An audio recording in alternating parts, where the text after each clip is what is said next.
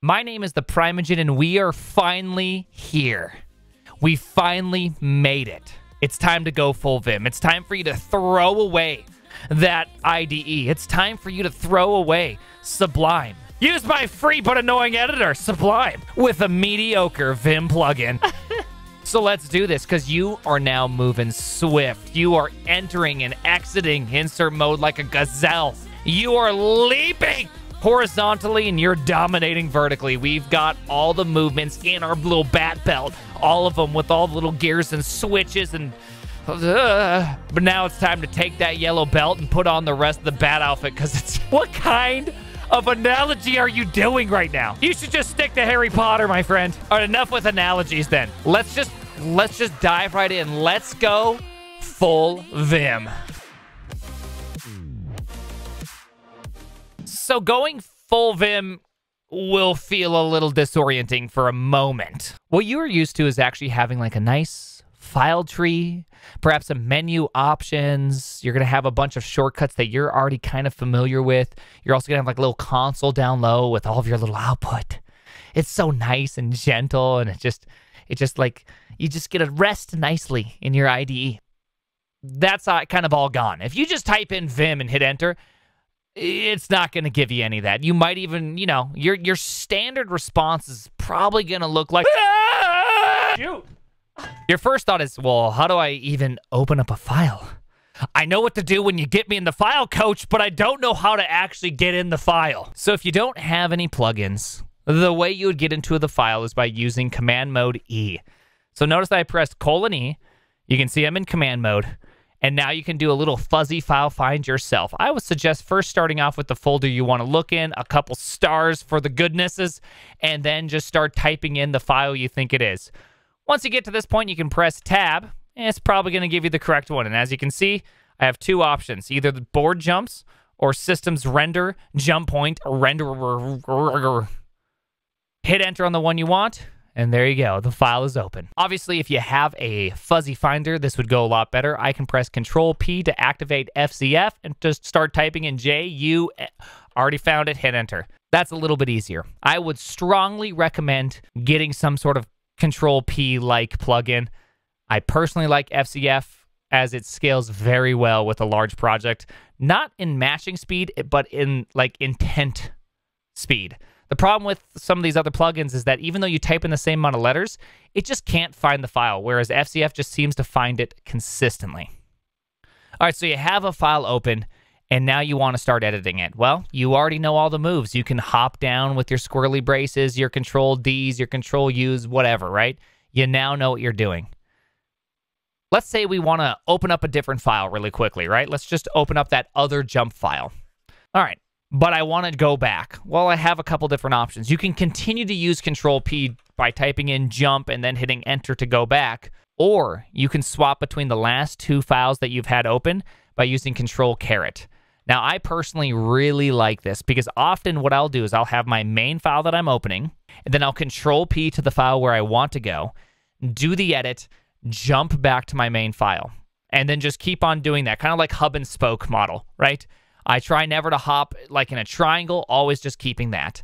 To me, that feels very comfortable, but it's not, it doesn't always work that way. Sometimes you have to jump between multiple files. When that happens, you have a few options on top of that. A, you can just always use Control P to open up the file you want to go to. Not a bad habit, but you can be more efficient. The second method is using Control O and Control I. That will jump forward and backwards in your history. So, depending on how many squirrely braces you've pressed, how many times you've jumped up to the top, all that will be in your history.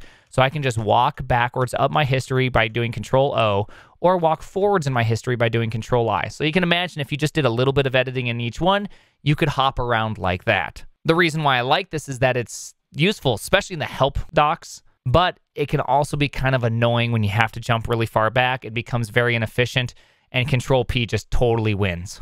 But there's a third option marks. Now, marks can be a little, hmm, I'm not quite sold on them, but I'm also not not sold on them, if you know what I'm trying to say. There are two types of marks there's local file marks and global marks. Local marks. Local marks work within the file you're currently on. So if I just simply type in M and then say H, that will set a local mark at H.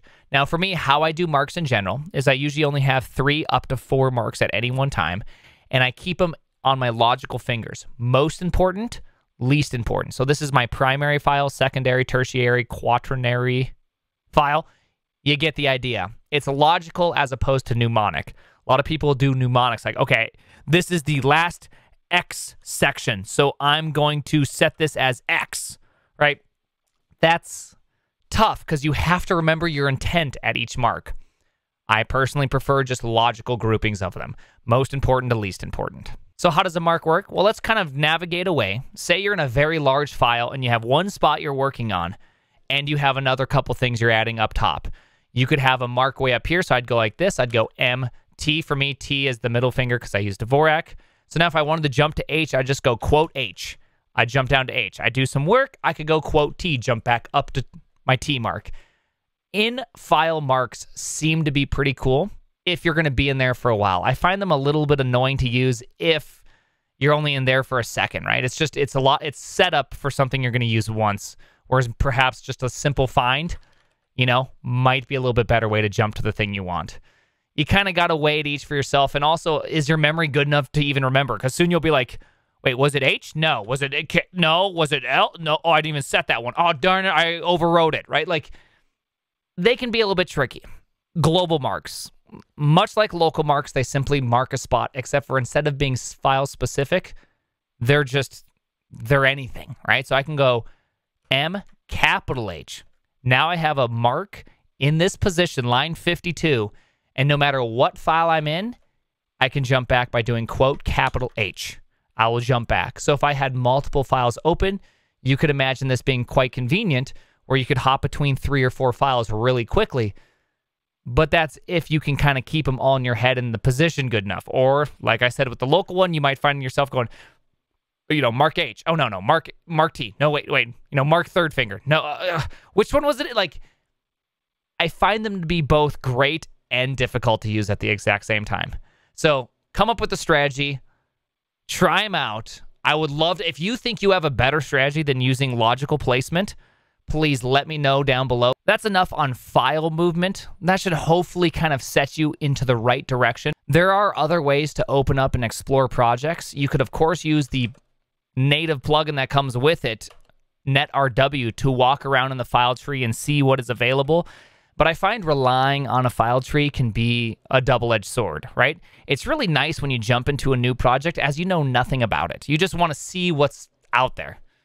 But once you're in a project and you're slightly to moderately familiar with it, do you really need the tree anymore? Or is it much faster just to rely on Control P to quickly jump in, open the file you want, and jump back out? This is the reason why I don't even have Nerd Tree anymore as a plugin. Even though it's a much more convenient tree plugin than NetRW, I just don't want to rely on them, right? So let's talk about splits. So splits are how I primarily use Vim. I don't use tabs. You can explore tabs if you want to explore them. I'm not going to go over them. I don't find them that useful. When I'm using Vim, I try to only have a single buffer open. Mm, I tend not to have splits open for very long because I can only really focus on one file at a time. So why have like four of them open just taking up real estate that I can't even look at anyways?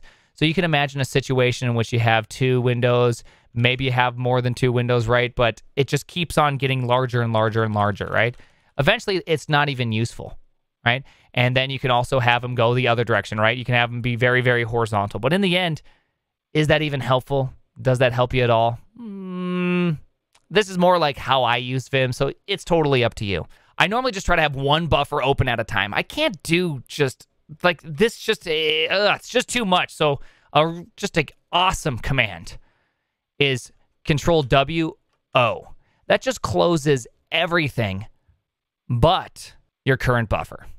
That just closes everything but your current buffer. My goodness, that is fantastic. So that way you can open up a couple, do a little copying and pasting, and boom, close them all down with just two keystrokes, right? Very nice. So how did I open all those new windows? Well, what I did was do Control W. That is like anything under Control W's window operations.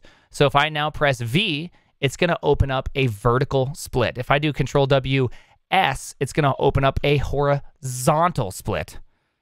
Yes, S for horizontal. Mm, it just happens sometimes. You can resize your splits by simply doing a resize and then the amount of rows you want displayed, or you can do vertical resize and the amount of columns you want displayed. If you want everything just to go back to evenly spread, do Control W equals. So let's put all those together. So let's say I wanted to open up my file tree. I would go Control W, V, vertical split, EX, open that up, and then a quick vertical resize to get it to where I want, right? And that is why I have that remap for when I need to open up the file tree. I do exactly that. I do Control W, V, open up the file tree, and resize it so that it's nice and small. There's ways you can manipulate and work with your buffers if you need multiple on your screen. First off, you can just you can swap them out. So you can do control W R and that will just simply rotate your current buffers. You can do control W shift H to go from a vertical split to a horizontal split. But honestly, once again, I rarely use these. And if anything, I will open up the help menu, do a little bit of looking up here, and then of course quickly just close it back down going into full view. This is obviously a personal preference here, but having a single buffer open just seems to work the best for me. And I think it's a good thing to get used to while using Vim. It'll really help you focus on just being able to jump in and out and not having to keep all these other screens open that you can't even focus or look on, but just simply having all the real estate you need for a single view. So there we go. This should get you to the point of being able to use Vim. I find this to be the hardest part about Vim when I was learning, which is actually using the windows and the splits and all that and being able to close and open and just have the view the way I want it to be. When I first started, of course, I used to have like 15 splits open and I'd use Control W equal to get that and then resize one of them. And eventually I landed on a place where I only ever like to keep one open at a time and just be really fast switching in between views. Find your own method, find what makes you happy. Let me know down below what you think is the best way to have things organized because I'd like to hear it and I'll even try it out to see if perhaps yours is superior. I don't know. But thank you so much for watching. My name is The Primeagen. And I think you might have just gone full Vim.